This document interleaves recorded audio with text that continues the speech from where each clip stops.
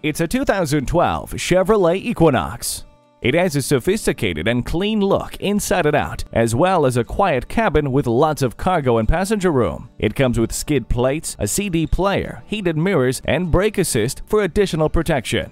Stop in and make today different than any other. Take this people pleaser for a test drive. Choose Sheboygan Auto. We're conveniently located at 3400 South Business Drive or at 2701 Washington Avenue in Sheboygan, Wisconsin. SheboyganAutos.com.